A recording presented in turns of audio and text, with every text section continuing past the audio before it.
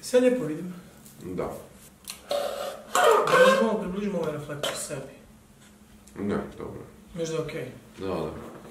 Bolje izgleda što ok. Okej. I bok ljudi, ja sam Davor, dobrodošli u novi video. Kao što vidite, Amer je ovdje sa mnom, šuška, već sada. Ćao. Zdravo ekipa. Danas ćemo vam raditi drugi dio, Q&A. a drugi nastavak Da, kao Q&A mukbanga. Imali ste svašta da nas pitate. Ja ću najvjerojatnije da pojedem sve prije nego što završimo video i nego što počnemo video. Ok, ajmo sa prvim pitanjem. Da li ste srećni i zadovoljni? Iskreno, da. Generalno mislim da svi u životu imaju trenutke kada su sretni i zadovoljni i imaju one loše trenutke kada su, kad se osjećaju nesretno i nezadovoljno. Pa ja često imam i jedne i druge, tako da sad trenutno sam i sretan i zadovoljan. Koje kućne obaveze obavlja Amer koje ti? Ja sve. Laž. Pa mi se dogovaramo za kućne poslove. Amer je najviše zadužen za veš, veš mašinu, kupaonicu generalno. I ovako pečnicu i te stvari jer on to baš voli. A ja sam više ovako za počistiti okolo, pospremiti stvari, pospremiti odjeću, spremiti je u ormar, objesiti je na... Davor je, Davor je isključivo za slaganje stvari. Ovaj, on to baš voli da sortira, slaže i to. Tako da ako nekome treba profesionalno neko ormar da on slaže, zovete Davora. Davor i ja imamo jednu o, gospođu koja nam sad već nekako kao član porodice, zove se Mevlida. A, s Mevlidom s trudimo nekako dolazili jedan put sedmično ili tako nešto da mi pomogne u kući. Ja imam jako veliki problem što se mora biti čisto. Osim u trenucima kad sam depresivan, tad može da gori hala. Ovaj, I onda mi tu Mevlida jako puno pomaže, ja pomažem njoj, ona meni. Ovaj, Me gleda dođe onda mi svi zajedno to radimo. Davor obično slaže, a Mevlida i ja nešto čistimo po stanu.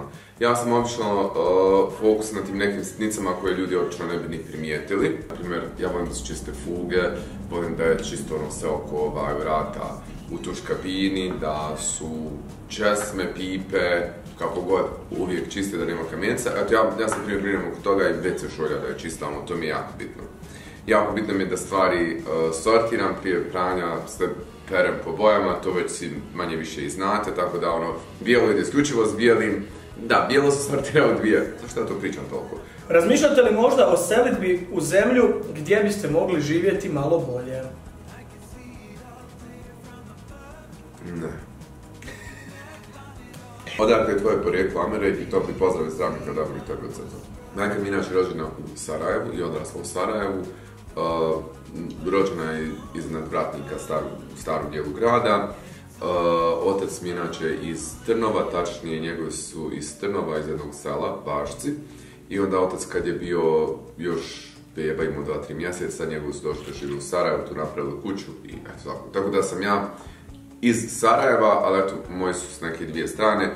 Mamini roditelji su inače sa Romanije, tako da, eto, mislim da sam to pojasnio. Moji su svi iz Zagreba. Nije pitao.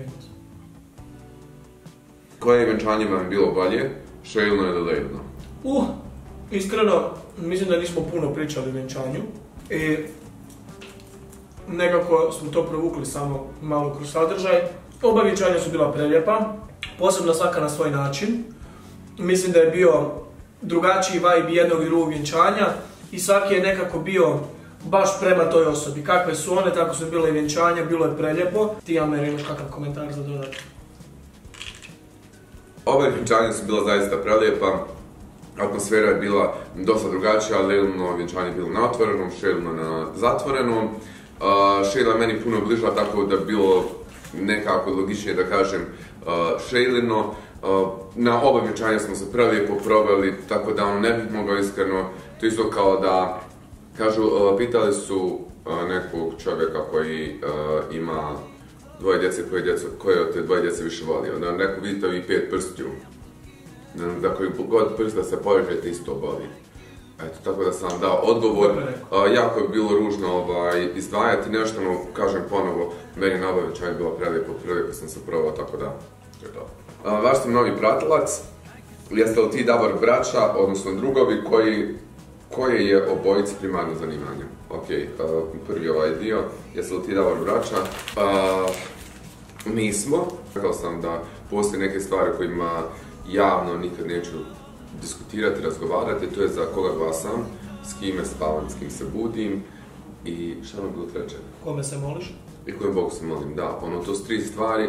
Uh, mislim da se sve tri te stvari mogu zaključiti oni koji me prate duže i poznaju, ali u, u suštini ne bih volio ulaziti neke privatne, previše privatne stvari. Moje primarno zanimanje da sam ekonomista, radio sam četiri godine u telekomunikacijskoj kompaniji kao direktor, poslije toga sam prešao u Cineplex, tamo sam se zadržao uh, 6-7 mjeseci, nisam bio zadovoljan dao otkaz, čisto da odgovorim na pitanje, jer ima i pitanje da li sam dobio ili dao otkaz, jer su ljudi iznosili neke netačne informacije, znači ja sam dao otkaz i to se desilo prije skoro godinu dana.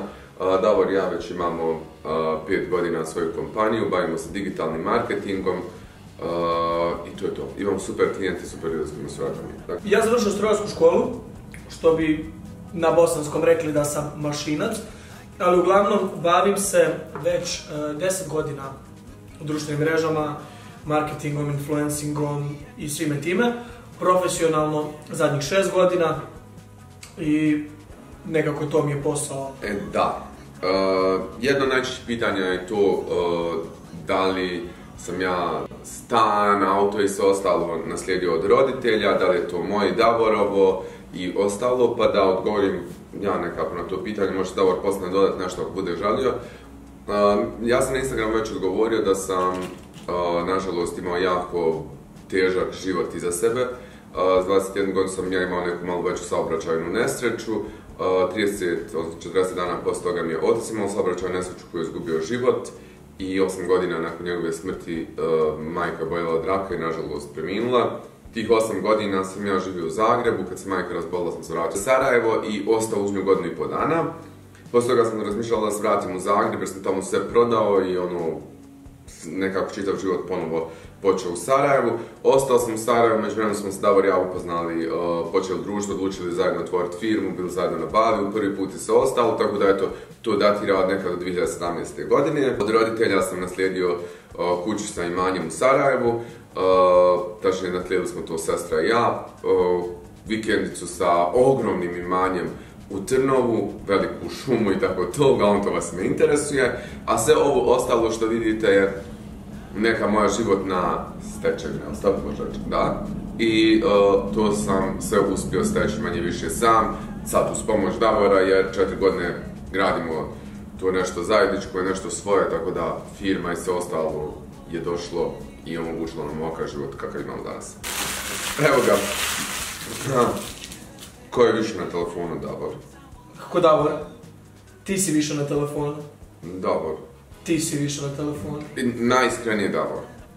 Ajde da otvorimo onaj screen time. Samo danas, da vidite, Amer je danas bio 5 sati i 4 minute, a ja sam bio 4 sata i 35 minuta. Na tjednoj bazi je kod tebe 6 sati i 18 minuta, kod mene 5 sati i 38 minuta. Što znači da si ti više na telefonu. Hvala. Ovo nije bilo danas, nego bilo... Aha, jeste danas sam bio. Baš dugo. Jel ti bosanski izgovor došao spontano ili si se trudio učiti jezik? Više koristiš njihove nazive nego hrvatske. E, ovo je zanimljivo. Zato što... Samo se malo vratio, ne znam če si otišao. Jako je zanimljivo, s obzirom da sam već eto skoro pet godina u Sarajevu, prirodno mi je došlo da se i ja počnem koristiti tim jezikom, nekako samo mi je nadošlo. E, kad se vratim u Zagreb, ljudi kažu da zvučim, da sam baš se pobosančio, dok svi ikad u Sarajevu mi govore Zagreb, Zagreb, Zagreb, Zagreb i nikako ne mogu pobjeći od toga ovdje, ali kad odem u Zagreb svi to je to čuju, bar moji prijatelji. A Jamer isto tako dok je živio u Zagrebu, pokupio dosta zagrebačkog naglaska, tako da kad ga neko pita odakle si, kad kaže da je iz Sarajeva, puno ljudi ga pitaju kao pa odakle si. Da, ja imam sveće jako čudan naglasak, plus imam probleme s Afrikantima, tako da ono, jako često, evo, svi koji sad gledate ovaj video, ćete primijetiti da č, č, č, č, č, ne izgovaram kako treba. Ništa posebno, ali mišljenje o hrani u KFC-u, mislim da ocjena od 1 do 10 je 3, jedno što valja je Zinger. Zinger? Da. Valja i pomfrit. Pa i pomfrit je okej, dobro, to su na dvije stvari koje... Pa ja bih rekao da je 5 od 10, s obzirom da u Zagrebu i u Beogradu je... U svijetu je KFC dosta drugačiji nego u Sarajevu, nadam se da će se popraviti. Uh, piletina je baš loše pohovana i eto, to je to, to je moj odgovor. Znači, pa to je to, da ne dajemo puno, bilo je još puno pitanja, ono, neki, neki drugi put ćemo odgovarati na ista. I I, ekipa, to je bio to. To je bilo to od ovog videa. Ako vam se svidio, nabacite like Share i subscribe. i komentar ako želite vidjeti još nešto. Ili ako vas još nešto zanima, ostavite u komentarima pa ću vam dole odgovarati ispod. E, naše društvene mreže možete naći u opisu ovog videa, isto kao i link do prvog dijela Q&A i mukbanga gdje smo odgovarali na još neka vaša pitanja. Hvala vam puno i nadam se da smo bili zaista zanimljivi. Da, eto, e, velika pusa, vidimo se u videu. Ćao! Ćao!